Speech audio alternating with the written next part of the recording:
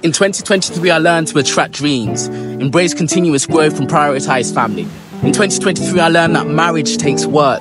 Financial improvement is essential, and putting knowledge into action is a must. In 2023, the importance of time, leadership, and genuine friendships, committing to serving my wife, daily meditation, and monthly fasting. In 2023, letting go, overcoming fears, and practicing effective communication became my keys to progress.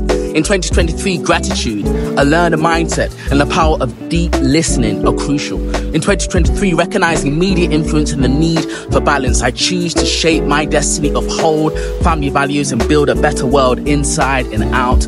I'm blessing all those I come into contact with. Every day is a school day, and in 2024, I aim to elevate mind, body, and soul, becoming the leader I was born to be. Here's to embracing life and creating the one we love. Now let's get ready for spring. Happy New